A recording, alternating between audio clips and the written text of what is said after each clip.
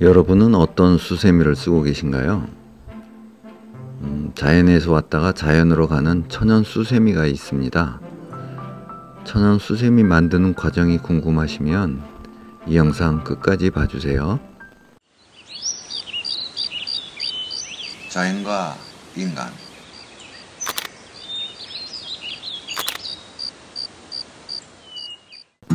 8월입니다. 수세미 꽃이 한창이네요. 네, 9월입니다. 아, 수세미가 제법 컸습니다. 아, 요즘 비가 너무 많이 와서 수세미가 썩어가고 있군요. 음, 좀 이르지만 따야겠어요.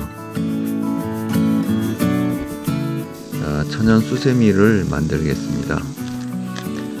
음, 첫 번째 단계는 수세미 껍질을 벗기는 작업입니다.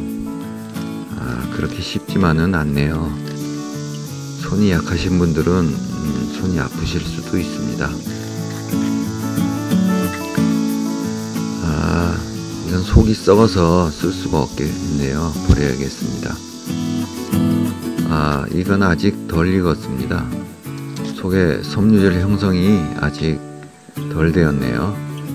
이런 것은 효소 담기에 적합한 것 같습니다. 아, 일곱 개를 땄는데요. 그 중에서 썩은 것과 덜 익은 것을 빼니 두 개가 남았습니다.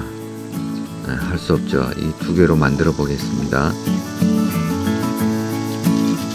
음, 두 번째 할 일은 씨를 빼내는 작업입니다. 아, 비비고 털고 흔들고 어, 물에 넣어서 물과 함께 빼고 하여간 음, 수단과 방법을 다 동원해서 씨를 빼냅니다. 세 번째 할 일은 섬유질에 붙어 있는 과육을 없애는 겁니다.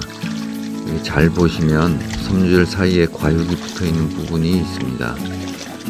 아, 잘 비벼서 물에 헹궈내면 됩니다. 네 번째 할 일은 끓는 물에 5분 정도 삶아냅니다. 삶아서 찬물에 담굽니다.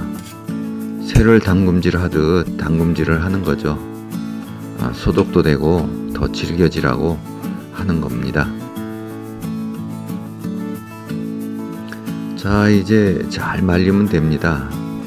이렇게 천연 수세미가 만들어졌습니다. 음, 제가 써보니까 개인적으로 천연 수세미는 세제를 칠하는 거품용보다는 거품을 헹궈낼 때 쓰는 헹금용으로 쓰면 더 좋을 듯 합니다. 네, 이렇게 쓰다가 아, 다 달면 아, 땅에 묻어주면 자연으로 돌아갑니다. 썩어서 거름이 되죠. 네, 참 좋은 아, 수세미입니다. 여러분도 한 번씩 만들어서 써보시기 바랍니다. 감사합니다.